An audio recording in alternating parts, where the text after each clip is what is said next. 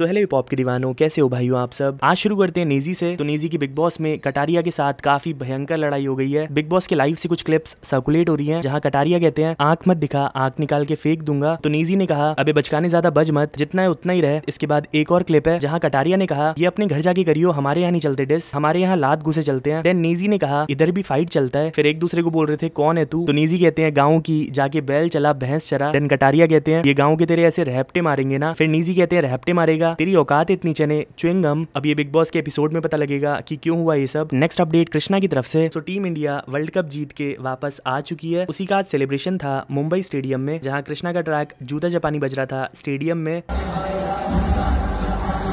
और अब कृष्णा की बात हो ही रही है तो हाई रेस जिनके साथ कृष्णा काफ़ी सारे कोलैप्स कर चुके हैं, उनसे डीएचएच ऑडियंस काफ़ी गुस्सा है एंड इवन ग्रेविटी भी बिकॉज़ हाई रेस ने एक इंडियन ट्विटर यूज़र को कहा go scam someone at a call centre then हमारे इंडियन भाई ने कहा कि जस्ट बिकॉज़ मैं इंडियन हूँ, इसका मतलब ये नहीं है कि I scam people at a call centre उन्होंने ये भी कहा remember the guy which got you the most hype was Indian पता नहीं ये सब शुरू कहाँ से हुआ। हाई रेस अपने ट्वीट ऑलरेडी डिलीट कर चुके हैं। देन डीएचएच ऑडियंस से उनको हेट मिल रहा था तो उन्होंने अपना अकाउंट भी प्राइवेट कर लिया। इवन ग्रेविटी ने इस पे कहा रेसिस्ट अंग्रेज़ रैपर इतना इरिलेवेंट होके इतनी मजाल। बढ़ते हैं आगे तो करण औजला ने अपने बॉलीवुड के डेब्यू ट्रैक में नोरा फतेही को भी शाउट आउट दिया है। तो नोरा ने आज एक स्टोरी शेयर करी कुछ ऐसी।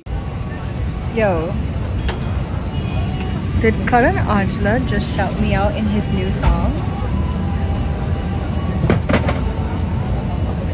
I'm freaking out. तो बस यार आज के लिए इतना ही था। मैं मिलता हूँ आपको नेक्स्ट वीडियो में। टिल देन बाय और हाँ वीडियो को लाइक कर देना प्लीज़